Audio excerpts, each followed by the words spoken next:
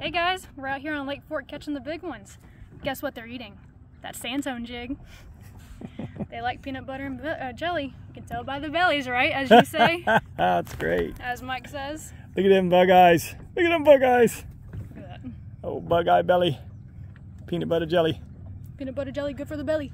Nice fish. Thank you.